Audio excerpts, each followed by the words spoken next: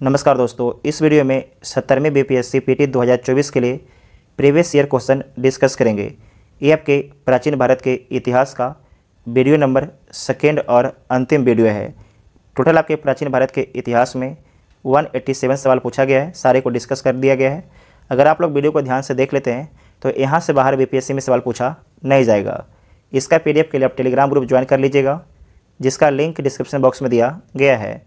अगर वीडियो आप सभी को हेल्पफुल लेगा तो चैनल को सब्सक्राइब ज़रूर कीजिएगा। तो आइए देखते हैं पहला क्वेश्चन पाटलिपुत्र में स्थित चंद्रगुप्त का महल मुख्ता बना था तो किससे बना था? तो लकड़ी से बना हुआ था। बोधिसत्व पद्ममणि की पेंटिंग स्थित है तो कहाँ स्थित है? तो अजंता में स्थित है। अजंता महाराष्ट्र में है। बिहार में विक्रमशिला विश्वविद्यालय के संबंध में निम्नलिखित कथनों पर आपको विचार करना है तो विचार कर लीजिए, और इसमें कौन सा कथन आपकी गलत है उसे ढूंढना है। तो बिहार या बिहार के वर्तमान बांका ज़िले में स्थित है तो यह गलत है। बिहार के भागलपुर जिला में स्थित है। इसकी स्थापना पाल वंश के राजा गोपाल प्रथम के द्वारा किया गया था तो यह भी आपका गलत है। धर्मपाल के द्वारा किया गया था। बौद्ध धर्म का ब्रजयान संप्रदाय यहाँ फला फूला ये ठीक है।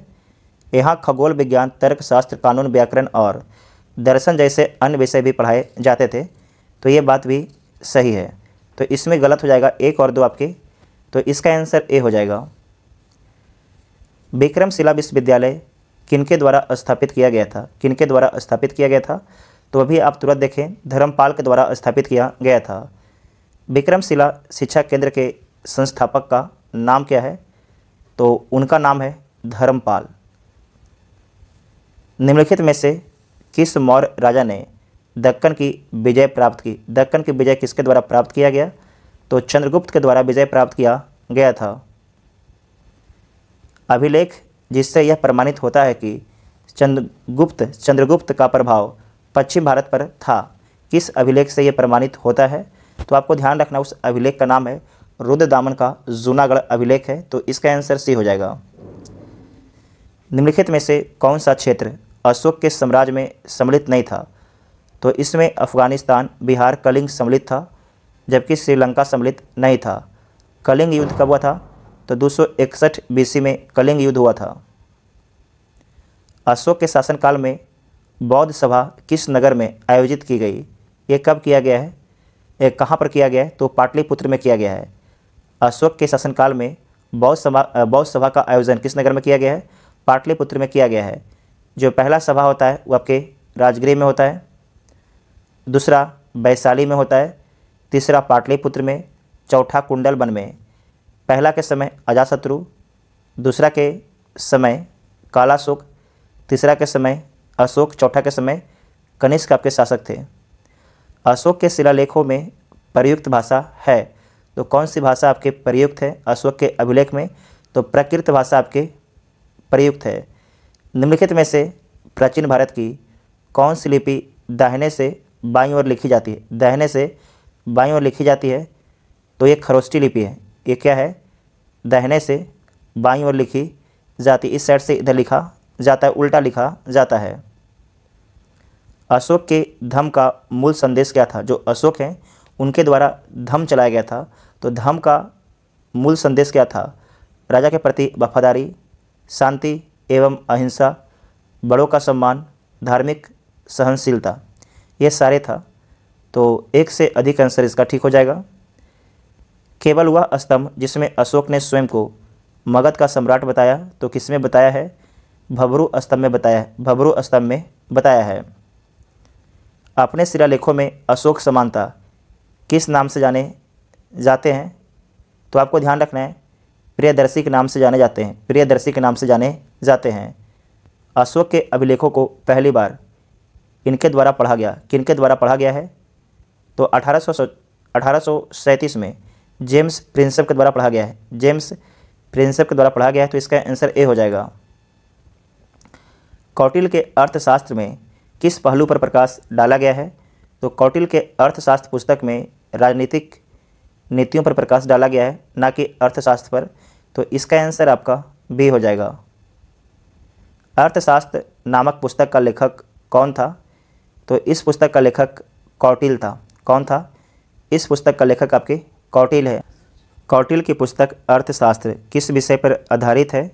तो राजनीतिक विषय पर आधारित है। राजनीतिक विषय पर आधारित है तो इसका आंसर ये हो जाएगा, उपरोक्त में से कोई नहीं। निम्नलिखित में से कौन सा मंदिर कांचीपुरम में स्थित है? तो उस मंदिर का नाम है एकाम्ब रेश्वरार मंदिर। तो डी, इसका आंसर हो जाएगा। निम्नलिखित में से किस राज्य में भीम का स्थल है? तो मध्य प्रदेश राज्य में भीम का स्थल है।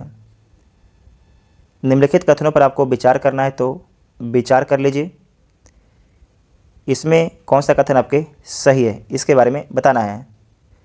फाहियान एक चीनी यात्री था, जो हर्षवर्धन के दरबार में आया था। ये गलत है।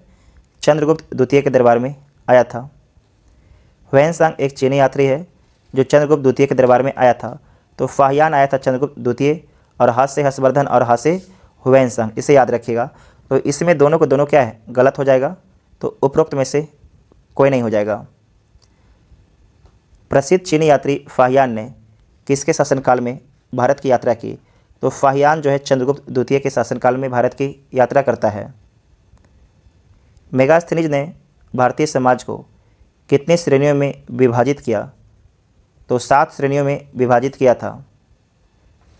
मौर्य समाज का सात वर्गों में विभाजन का विशेष रूप से उल्लेख किया गया है। तो मेगास्थनीज की पुस्तक इंडिका में, मेगास्थनीज की पुस्तक इंडिका में किया गया है तो डी इसका आंसर हो जाएगा। इतिहास के प्राचीन और मध्ययुगीन काल के राजाओं और उनके द्वारा लिखी गई रचनाओं का सही मिलान किस युग में किया गया है? तो सही मिलान बी में किया गया है Mahendra Varman Matta Vilasa Prahasana. Periplus of the Erythraean Sea किसने लिखी है? तो इसका लेखक किसके द्वारा किया गया है? जानकारी उपलब्ध नहीं है तो ई इसका आंसर हो जाएगा। वह स्रोत जिनमें पाटलिपुत्र के प्रशासन का वर्णन उपलब्ध है उस स्रोत का नाम क्या है? इंडिका उसका नाम है। इंडिका उसका नाम है। पाटलिपुत्र को किस शासक ने सर्वप्रथम अपनी राजधानी बनाई? किसके द्वारा बनाया गया? तो ये बनाया गया चंद्रगुप्त मौर्य के द्वारा, चंद्रगुप्त मौर्य के द्वारा। पाटलिपुत्र को किस शासक ने सर्वप्रथम? तो यहाँ पर समझिएगा, सर्वप्रथम अगर बोलेगा तो उद्यान बोलेगा। बोलेगा उद्यान, लेकिन यहाँ पर दिया नहीं गया है। तो इसका आंसर क्या हो जाएगा? ए हो जाएगा। इनमें से किसने सर्वप्रथम व्यापक पैमाने पर स्वर्ण मुद्रा का प्रचलन किया। तो यह किया गया था भीम कटफिशस के द्वारा, भीम कटफिशस के द्वारा। प्रघोत कहाँ का राजा था? तो प्रघोत जो है, अवंती का राजा था, अवंती का राजा था। हून राजा तोरमान किस औलिकर राजा द्वारा पराजित किया गया था? तो यह पराजित किया गया था प्रकाश बर्मन के द्वारा, प्रकाश बर्मन के द्वारा पराजित किया गया था। तंजावुर में बृहदेश्वर मंदिर का निर्माण किस राजा द्वारा करवाया गया था? तो ये करवाया गया था राजराज प्रथम के द्वारा करवाया गया था। निम्नलिखित अभिलेखों में से किसमें विधवा दहन का उदाहरण उल्लेखित है? तो विधवा दहन का जो उदाहरण दिया गया है, भानुगुप्त का एरन अभिलेख में, भानुगुप्त का एरन अभिलेख में। शुभ सुंग वंश सुंग वंश के बाद किस वंश ने भारत पर राज किया? तो सुंग वंश के बाद भारत पर कन्नव राजवंश ने शासन किया था। राजा खारवेल का नाम जुड़ा है। तो किससे जुड़ा हुआ है? हाथी गुफा लेक के साथ, किस गुप्त शासक ने अपने बड़े भाई की हत्या कर सत्ता प्राप्त की? तो किसके द्वारा ये काम किया गया? तो चंद्रगुप्त द्वितीय के द्वारा ये काम किया गया था। नगरों का क्रमिक पतन किस काल की एक महत्वपूर्ण विशेषता है? तो गुप्त काल की एक प्रमुख विशेषता है। निम्नलिखित में से कौन सा बंदरगाह गुप्त काल में उत्तर भारतीय व्यापार के लिए उपयोगी है? तो उत्तर भारतीय व्यापार के लिए जो उपयोगी है उसका नाम है ताम्रलिप्ति और भरौच। ताम्रलिप्ति आपके पश्चिम बंगाल में है, भरौच आपके गुजरात में है। तो इसका आंसर हो जाएगा ई हो जाएगा। क्या हो जाएगा? ई हो जाएगा। एक से अधिक आंसर किस शासक वंश ने मंदिरों एवं ब्राह्मणों को सबसे अधिक ग्राम अनुदान में दिया? तो गुप्त वंश ने जो है, मंदिरों एवं ब्राह्मणों को सबसे अधिक ग्राम अनुदान में दिया था। गुप्त युग में भूमि राजस्व की दर क्या थी? तो इसकी दर थी उपज का छठा भाग, उपज का छठा भाग। भागवत संप्रदाय के विकास में किसकी देन अत्यधिक थी? तो इसमें ध्यान रखना है कि गुप्त धर्म की अत्यधिक देन थी। इनमें से किसने पहली बार यह व्याख्या की थी कि पृथ्वी के अपनी धुरी पर घूमने के कारण प्रतिदिन सूर्योदय एवं सूर्यास्त होता है? तो इसमें याद रखना है कि आर्यभट्ट ने पहली बार ये व्याख्या की थी तो इसका आंसर ए हो जाएगा। इनमें से कौन गुप्त काल में औषधि के क्षेत्र में अपने कार्य के लिए जाने जाते हैं? तो देखिए, इसमें से किसी का संबंध आपकी गुप्त काल से नहीं है तो इसका आंसर ई हो जाएगा। इसका आंसर ई हो जाएगा।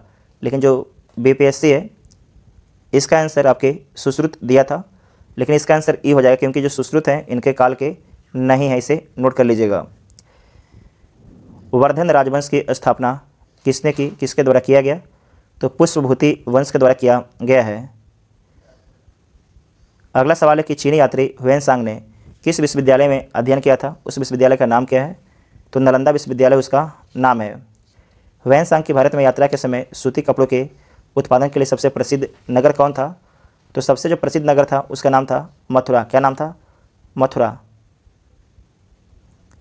कभी वान निवासी कभी बान निवासी था। तो पाटलिपुत्र का था। कभी बान निवासी पाटलिपुत्र का ही था। चीनी यात्री इत सिंह ने बिहार का भ्रमण किया लगभग। तो कब करता है? तो इसमें से जो आपके दिया गया है, कोई नहीं। ये कब करता है? तो छः सौ इकहत्तर छः सौ बहत्तर में आपके करता है। नालंदा विश्वविद्यालय के संस्थापक कौन थे? तो इसके संस्थापक थे कुमार गुप्त प्रथम। कुमार गुप्त प्रथम थे।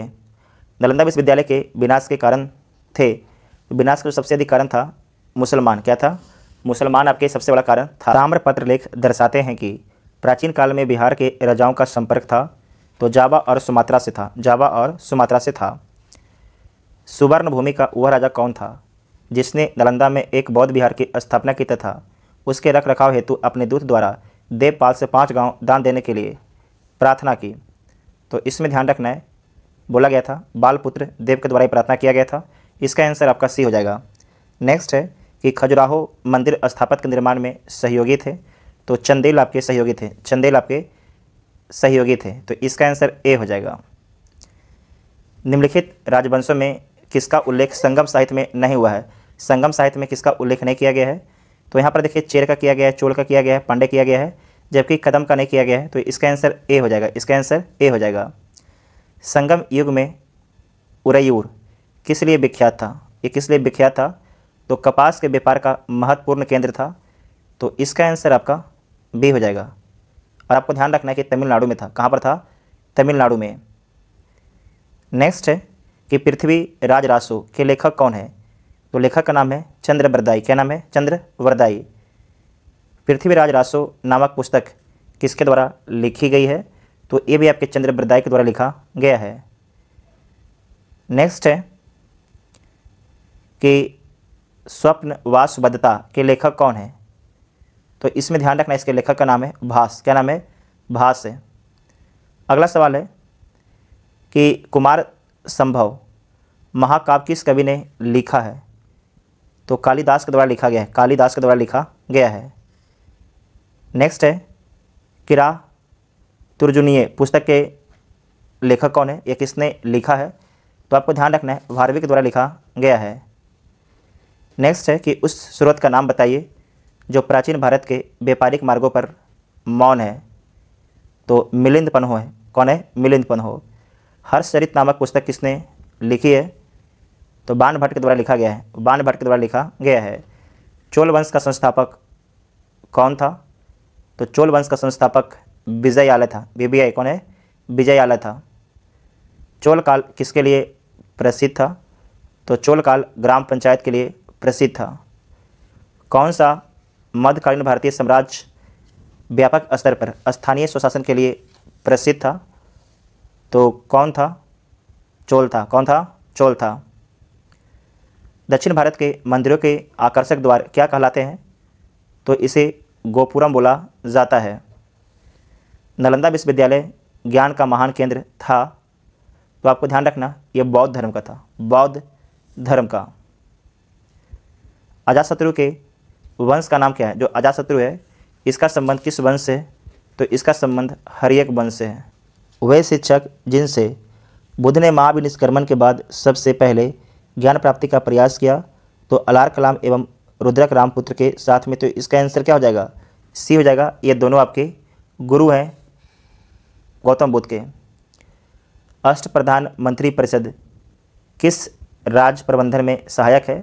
तो आपको ध्यान रखना है, जो सहायक है, शिवाजी के राज प्रबंधन में सहायक है, इसका आंसर आपका डी हो जाएगा। अगला सवाल है कि अष्ट प्रधान का गठन किसने किया है? तो किसके द्वारा किया गया होगा? ये शिवाजी के द्वारा किया गया है, शिवाजी के द्वारा। अष्ट प्रधान मंत्री परिषद थी। तो इसमें ध्यान रखना है, मराठा प्रशासन में, मराठा प्रशासन में। मौर्य वंश का अंतिम शासक कौन था? जो मौर्य वंश है, इसका अंतिम शासक ब्रेदर्थ था। अंतिम मौर्य सम्राट था। अंतिम मौर्य सम्राट था। उसका नाम क्या है? तो उसका नाम है ब्रेदर्थ क्या नाम है? ब्रेदर्थ वह स्थान जहाँ महावीर ने पूर्ण आध्यात्मिक ज्ञान प्राप्त किया, केवल प्राप्त किया तो कहाँ प्राप्त किया? जम्भिक ग्राम में प्राप्त किया। जम्भिक ग्राम में। तो इसका आंसर आपका डी हो जाएगा। यहाँ पर याद रखिएगा, जो जम्भिक ग्राम है, रिजु पालका नदी के तट पर स्थित है। साल ब्रिज के नीचे इन्हें ज्ञान की प्राप्ति हुआ था। नेक्स्ट है कि अंग जनपद की राजधानी थी तो ये चंपा थी। कहाँ पर? चंपा। कलहन की पुस्तक का नाम क्या है? तो कलहन की पुस्तक का नाम है राज तरंगनी। राज तरंगनी। गुप्त काल में शीशे के सिक्के की एक बड़ी संख्या जारी की गई।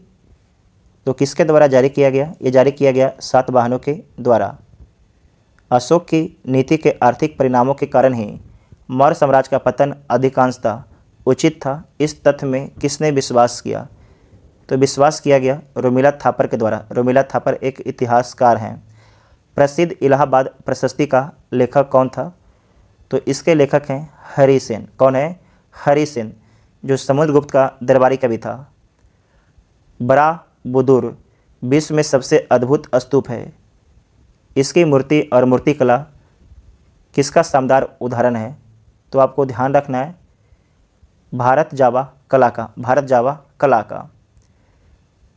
महावंश के अनुसार बिंबिसार किस आयु में सिंहासन पर बैठा था? तो पंद्रह वर्ष की आयु में सिंहासन पर बैठा था। बराबर पर्वत श्रृंखला स्थित गोरखगिरी किसके द्वारा विजित की गई?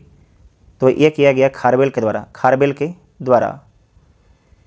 मैथिली भाषा का विकास निम्नलिखित में से किसके शासनकाल के दौरान शुरू होता है?